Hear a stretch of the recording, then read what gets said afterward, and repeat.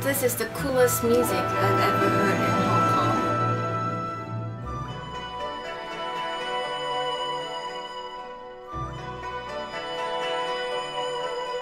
The beat is